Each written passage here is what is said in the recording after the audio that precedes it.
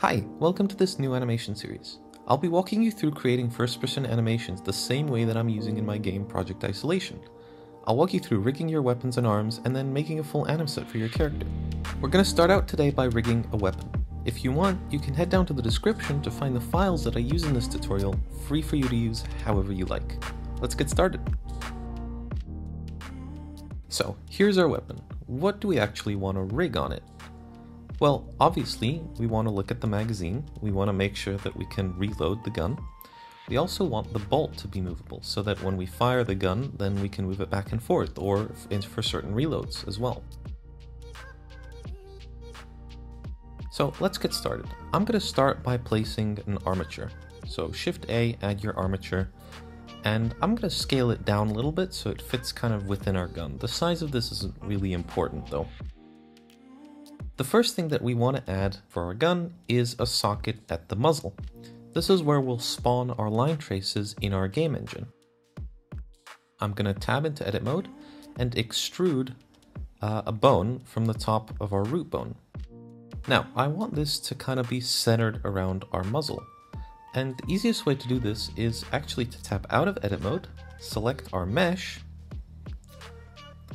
and now we're going to select the face that we want this to kind of be centered on. Pressing Shift and S together allows us to select, set the cursor to what we have selected. And now we can go back to our bone and from here we can click on the little end bit of the bone, not the full bone, but the little end bit. And now we can press Shift S again and we can do selection to cursor. And now our bone has moved exactly to the center of our muzzle and from here we can extrude a tiny little bone that will actually act as our muzzle bone. Now we can delete this big kind of intermediary bone, and you'll notice now that our muzzle bone is connected to our root bone. You'll notice the little dotted line that goes between them.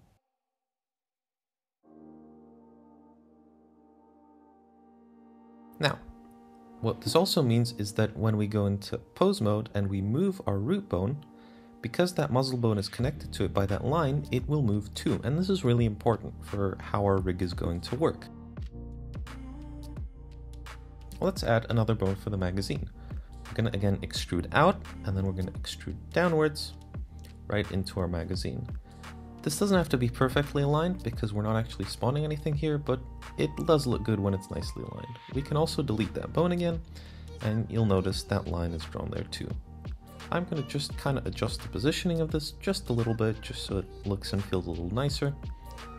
And yeah, that looks pretty good to me. We have one more bone to apply, and this is for our, uh, our bolt. Right? We want this to be able to move back and forth when we fire, and we also want the player to be able to pull this back when they reload a magazine. So I'm going to use the same trick that we used for the muzzle. I'm actually going to just extrude a bone here, and then align it with this face right here.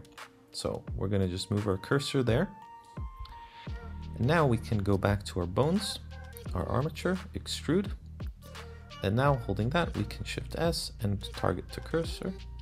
And now we can extrude another small bone specifically for our armature. As before, we can delete that intermediary bone, you'll notice the dotted line connecting them, and that's looking pretty good. Now, one thing that's important to note is that only the tip of the bone will be able to have these little dotted lines and these connections if you pull out of the back of the bone, and you'll notice that there is no dotted line now. And if we go into pose mode, it's not actually connected to the rest of our bones. You need that dotted line there. So make sure that you're always uh, extruding from the top of your bone. What you'll notice now, if you've never rigged before, is that we have this armature, but it's not actually connected to our mesh yet. And if we go into pose mode, then we can move our bones all we want and they don't actually move anything on our gun. So it's time to connect these, but first I just want to be a little bit of a perfectionist and I'm just going to set the rotation of this bone to be, well, nice and flat.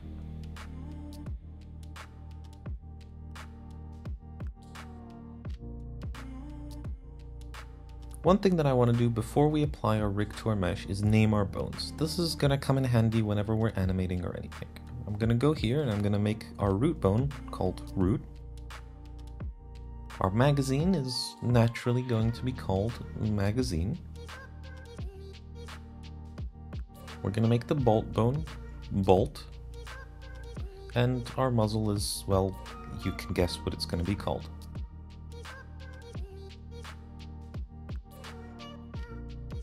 That's looking great.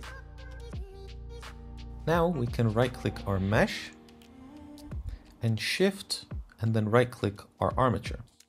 Now if we press Command P or Control P if you're on Windows, we can parent this and I'm going to select with empty groups. Now if you go to your mesh and right click on your mesh, you'll actually notice that we have different vertex groups. And all of these are corresponding to the bones that we created and named. So now I'm going to tab into edit mode for our gun mesh. And we now need to assign groups of vertices to each bone. The way that I like to do this is by first assigning all of our vertices to our root bone, and then we can remove them as we see fit. So I'm going to go to root and I'm going to click assign. So for example, we're going to want to assign the magazine portion of the gun to the magazine. Now, the muzzle doesn't actually need to have any mesh assigned to it because we're only using it as a location to spawn a line trace from in our game engine. However, our bolt is definitely going to need some mesh assigned to it.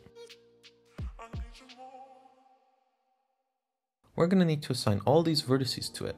Now, an easy way to select lots of them together in Blender is to press L. This will select linked vertices, and you'll notice that it's selected every single vertex.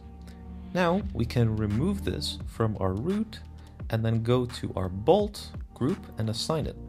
And now, if you'll see, we go into our uh, armature and we can tab into pose mode. And now if we move this bone, you'll see that that piece of mesh will move along with it. And you can see here just how we'd animate this to do, for example, a firing animation for our gun. Now let's do the same for our magazine. I'm just going to hide the bones here just to make it easier to work with, and we'll bring those back later. So we're going to use the same thing that we did for the bolt. We're going to right click, we're going to select our mesh, we're going to go into edit mode, and then we're going to use L to select all the little meshes that make up this magazine, including all of these little bullets here. I'm going to press Z to go into uh, to wireframe mode and you'll see I missed a bullet actually here. And now that we have all of them, we can again remove those from the root and assign them to our magazine. Now we can use Alt H or Option H on Mac to unhide our bones, and that's our fully rigged gun. Congratulations, you did it! If you tune in next time, I'll show you how to rig arms. That's a slightly more complicated process, but we'll make it so that it's as easy as possible to animate. Thanks so much for watching, and I'll see you in the next one. Bye bye.